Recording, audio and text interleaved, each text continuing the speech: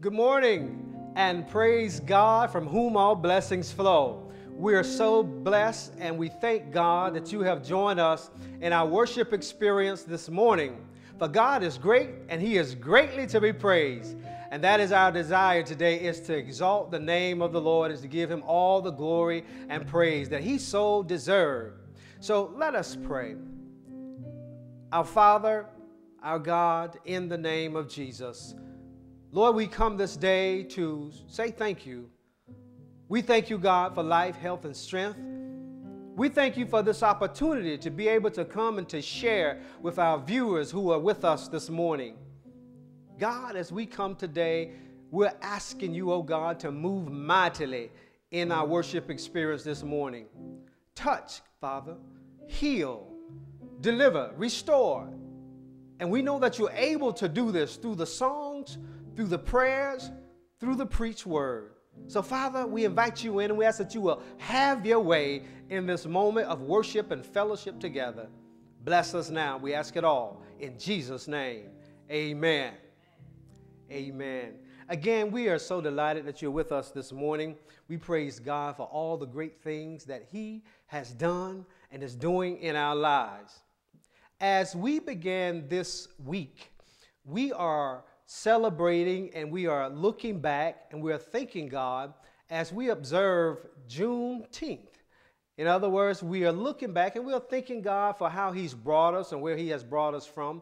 And so today, the message is going to be a little bit about some history of where we come from, where the Lord has brought us from, and also where we are desiring God to take us.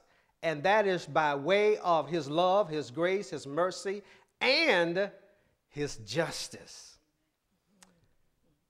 You know, it only takes one little spark to get a fire started. Just a spark. And as I was thinking about one spark that can touch something dry like grass or leaves, and it can start a fire that can spread and grow and grow and can almost become out of control. As I was thinking about the spark, last week in our nation, there were fires burning in virtually every major city. The spark that started these fires and the reaction of thousands of demonstrations came from the death of, yes, George Floyd. That name has become very familiar to us.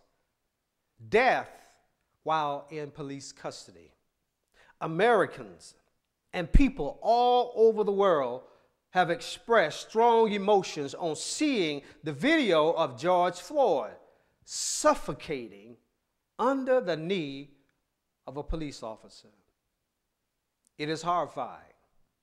And some have been traumatized and physically sickened by seeing this video. This video comes weeks after the video of the lynching of Ahmaud Arbery. And then just a little further recently, the life of Breonna Taylor. And if we look at the list, the list goes on and on and on and on of unjustifiable murders or killings or the taking of life.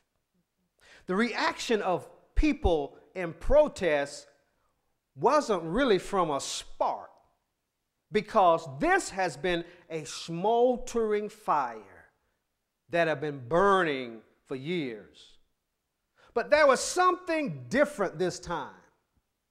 As the world witnessed and looked on to see a man struggling to breathe air that all of us take literally for granted as we just walk around and breathe for eight minutes and 46 seconds, we watched and we observed a man struggling, grasp, grasping for air, trying to breathe. There was something different about this one. There was something different to visually see this man struggling and pleading for his life and begging to breathe air. And then finally, we watched George breathe no more right in front of our eyes, George Floyd was dead. To see this caused something to rise up in people as never before. Yes, yes, there were those who, who exploited this peaceful demonstrations to promote violence and theft. But over time, over time, they began to get weeded out and we began to see peaceful demonstrations all over the world. And still today, there, are, there is a strong presence of peaceful demonstrations by those whose hearts were moved by compassion. There are those who have a sincere desire to address the evil of racism in cities, towns, villages, and suburbs all around the world. Yes, all around the world. There are people of goodwill, young people, older people, white people, black people, brown people, men and women all came together, joining and banding their hands together, banding their voices together, singing together, shouting together, carrying signs that are printed in bold letters that say, I can't breathe. Signs that say, hands up, don't shoot. Signs that says, we are better than this signs that says end racism. The voices of many diverse individuals came together and said i am a human being. Signs that said no justice no peace. So what is all the ruckus about? What, what, what, what, what disturbed so many people to the point that they would take to the streets for days and days by thousands and ten thousands because there is a desire and there is a drive that is causing people to seek justice. Justice. I researched the word justice. And as I was looking, researching the word justice, they, they there were many confusing definitions that, that, that, that, that was just somewhat complicated. And then I found one that kind of made sense. And it says that justice means that people behave in a way that is fair, equal, and balanced for everyone. People seeking and behaving in a way that is fair and equal and balanced for everyone. Reality check. For the most part, most of us know what is right and what is wrong. Most of us know also that as we live in this society, we put on blinders sometimes, but the reality is there is a double standard depending on who you are. Most of us know that there are systems in place that elevate some while oppressing and depressing and holding down others. But I thank God that there are people of all races. There are people of all genders who have decided and banded together upon this time in their lives and decided that enough is enough. Most, if not all of us, would agree that using force or fraud to exploit the vulnerable that that is evil. Most of us understand, and we carry a sense within us, a sense of right and wrong. We carry a conviction that oppressors should be punished and that the weak should be protected. We all know what justice is. Justice in its simplest forms means to set things right, to treat people right. George Floyd's public execution opened up the eyes of many. But it also reminded others who have been experiencing this all of their lives that there is something very wrong. There is something unequal. There is something imbalanced about the way some people treat others. And our mission in this hour that we are in, in this season in which we are living, is to be on the side of justice. Not just for our sake, but that is what God desire is that we all experience justice in our lives. God desire is for equality and justice in this land. Yes, I said God desires justice. Let me read a couple of scriptures that imply not only do we, the people, desire justice, but God is justice and God is seeking justice. Deuteronomy 32 and 4 says, He is the rock, His works are perfect, and all His ways, you hear that? All of His ways are just a faithful God who does no wrong, upright, and listen to this, and just is he. And then Psalm 89 and 14 says, Righteousness and justice are the foundation of your throne. Love and faithfulness go before you. To honestly deal with this issue of justice, we as Christians must take a hard look at ourselves. The answer for all Christians should be very simple and easy. As Christ followers, the answer is simple because justice should be a part of our Christian character. Our sense of justice is imparted to us by God the Creator.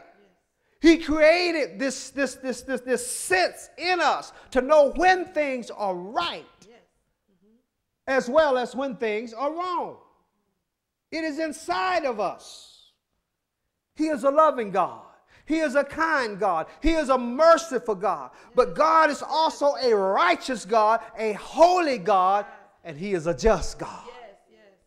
You know, I, I, I, I, sometimes, I don't know, I, I really get confused when I see Bible toting, scripture talking, Holy Ghost filled Christians who seemingly have a different standard of justice depending on who is the subject of that justice.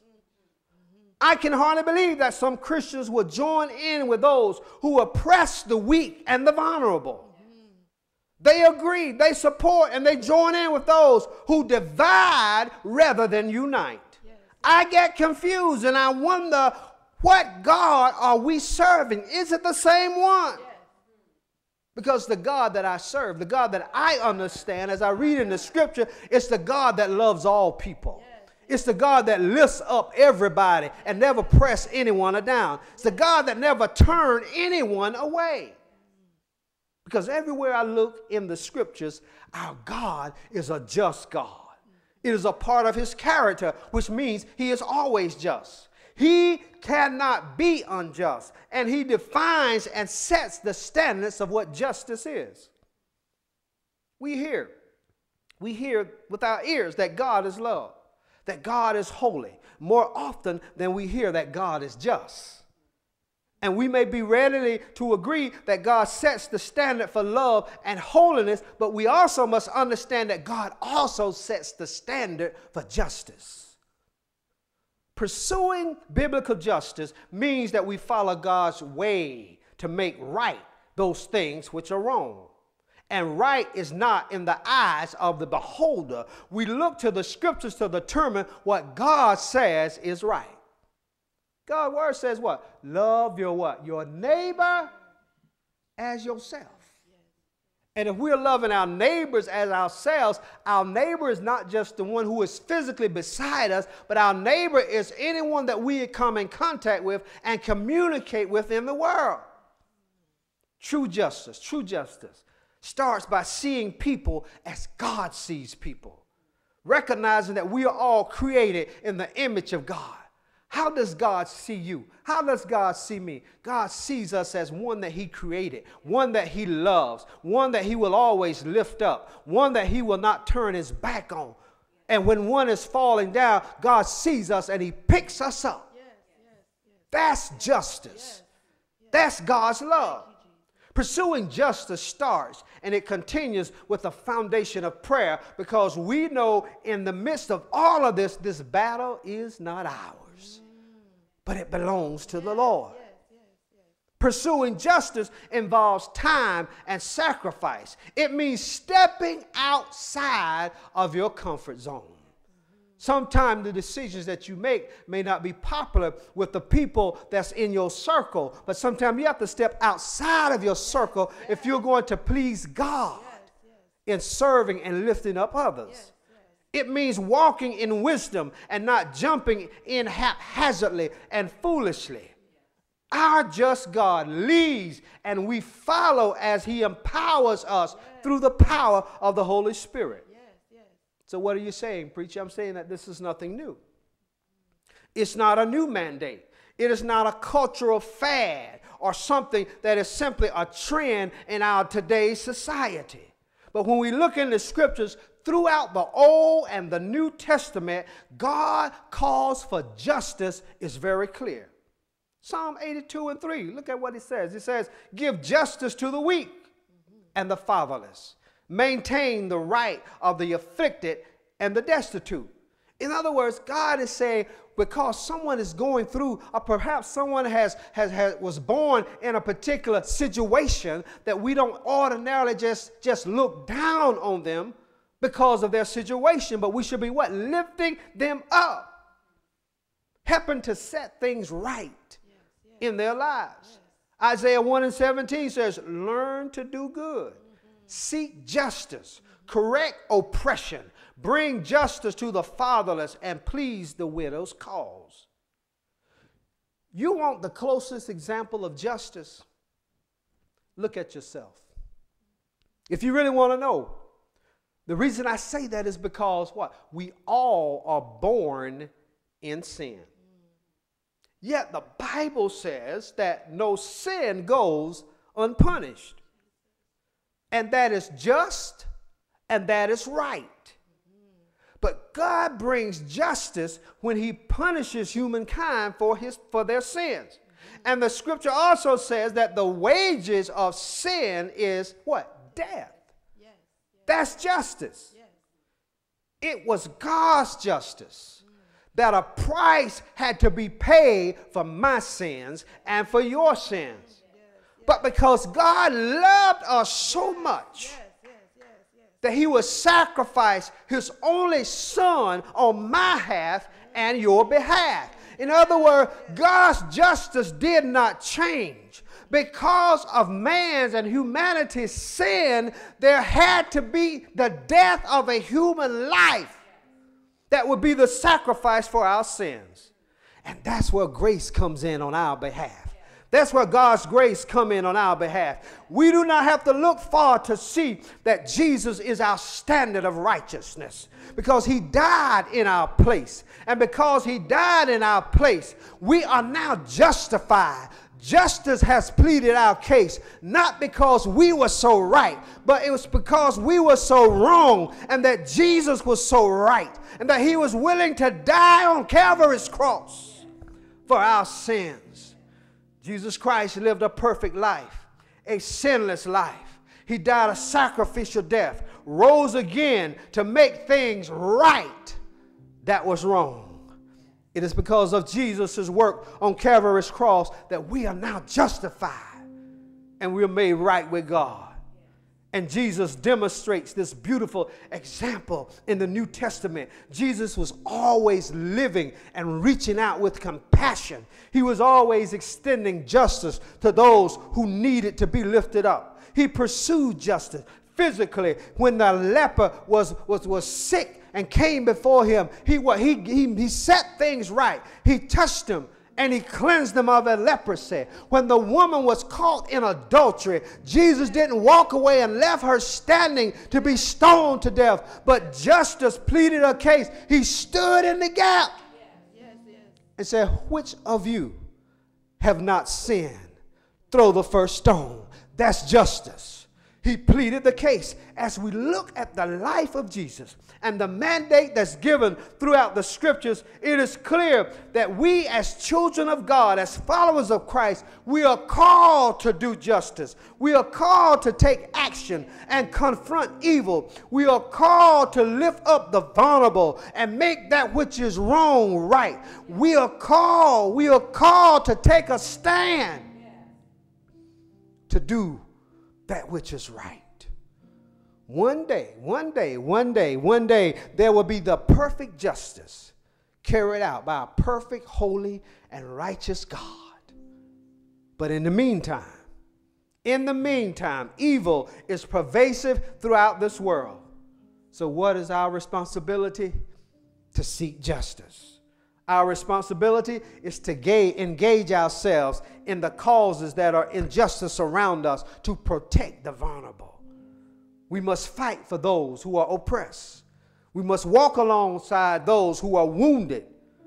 And we must point them to the one that can heal their physical body as well as their sin sick soul. We can point them to the one who's able to restore them and bring restoration into their lives. We can point them to the one who redeems and saves us from all of our sins. If we're seeking justice today, we look to God. We look to the scriptures, for it will guide us unto all truth. Let us pray. Our Father and our God, we thank you, Lord, for your wonderful mercy your wonderful grace, and for your justice. God, we thank you for making things right in our lives. Where there was so much that was wrong, God, you sent your son. You sent your son in our place that he might take on what we were supposed to take on.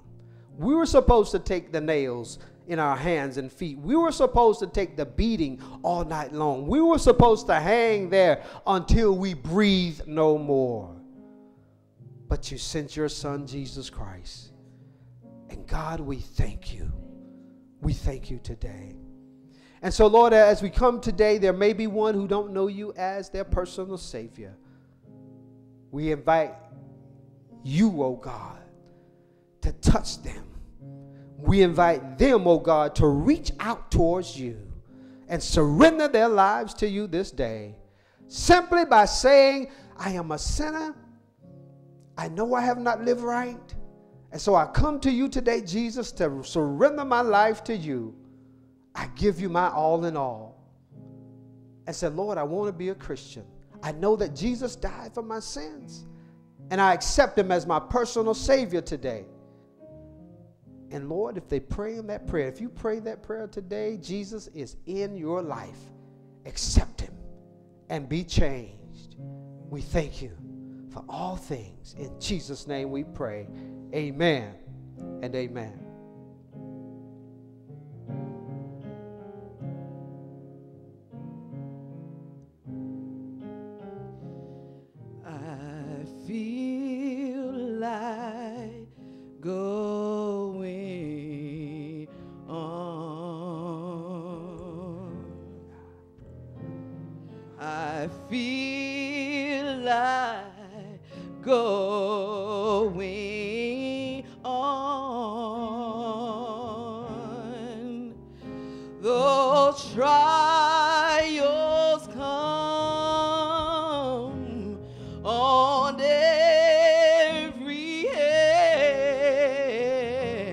I feel like go, going on.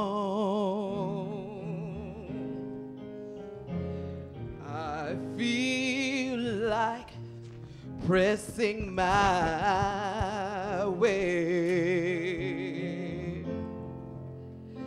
I feel like pressing my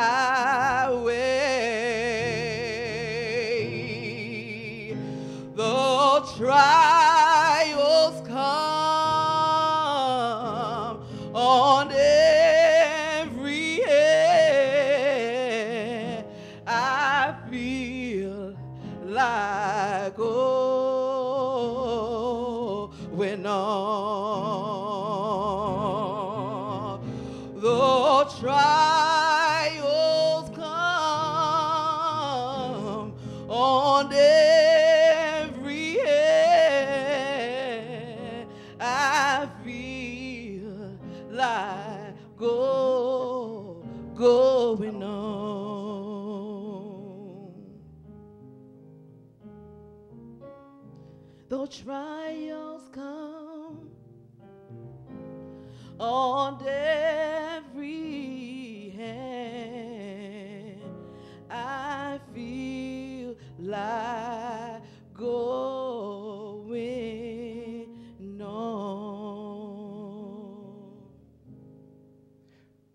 morning again.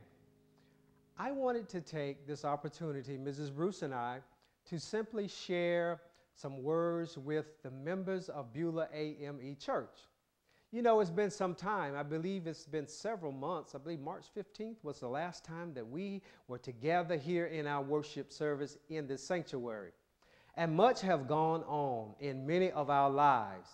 And so today I just wanted to just, just, just speak a word of encouragement to you. I know that there have been many ups and downs in your lives, but we want you to know that Mrs. Bruce and I, that we have been certainly praying for you, lifting you up in our prayers daily, and believing that God is carrying us through this time that we are distant or somewhat separated from one another. I do want you to know that the love of God will always be with you and he will certainly carry you through. We want you to know that you are certainly in our thoughts. And we cannot wait. We cannot wait till the time come when we will be able to come back together in this sanctuary to worship God together, that we will see each other's smiling faces. We know that time is coming. But in the meantime, we ask that you will do those things that are necessary to stay safe. But in the meantime, just don't waste time for this is precious time. God has allowed this to be so. So utilize this time to build up your faith through the reading of the scriptures, the reading of the word, time in prayer. And as you do that, you will continue to develop your spiritual formation.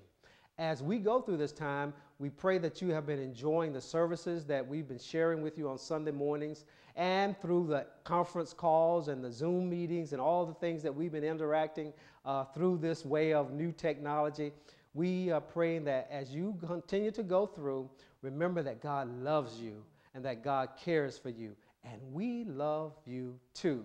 Amen. Amen. Amen. God bless you, and we hope to see you very, very soon. We love you. We love you, Beulah.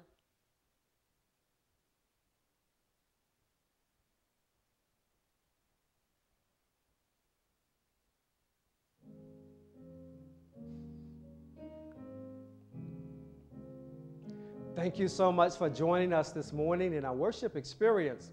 Please, if you have the opportunity and desire to do so, please, you are willing to share with us in our ministry by gifts, donations, through mailing as presented there. Also, you may download the app Givelify and look for Beulah AME Church. Look for the Beulah logo. We would love to have you support our ministries as the Lord leads you. Again, God bless you and have a wonderful day.